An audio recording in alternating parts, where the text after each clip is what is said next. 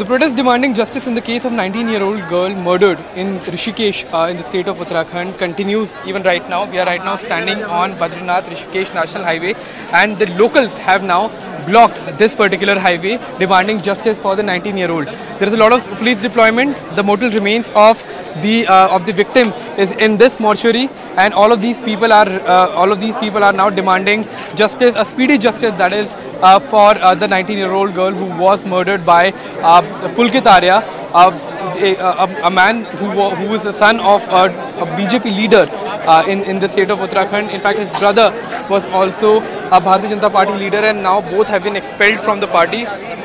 Vinod Arya owned a resort in Uttarakhand where the 19-year-old used to work as a receptionist. There were pressure, there was pressure on uh, on the girl, according to the police uh, investigation, that uh, she gets into prostitution. The, the accused was pushing her into flesh trade, and when she refused, uh, uh, Pulkit Arya murdered the girl after after a confrontation uh, that that in fact uh, that led uh, to the death of the 19-year-old girl. Now, uh, the, the locals who are here, who are who are sitting here, are demanding justice. They are asking for a final post-mortem report because yesterday a post-mortem was conducted at AIIMS Rishikesh, and uh, the body, uh, the mortal remains are still inside the hospital.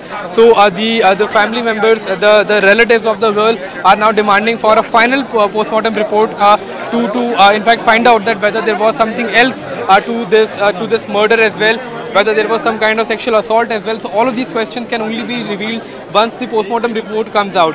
And some of the relatives are even apprehensive about that. They are also demanding about a second post-mortem report. Uh, the locals are also questioning the way the Uttarakhand government demolished that particular resort, questioning uh, that whether that would uh, impact uh, the evidence that was there in the resort or not. So uh, it remains to be seen that when this uh, this protest will get over, but uh, people are asking for justice in, in, in the in the murder of the 19-year-old girl, and that too as soon as possible. With camera person Prem Singh, I'm Funny TV.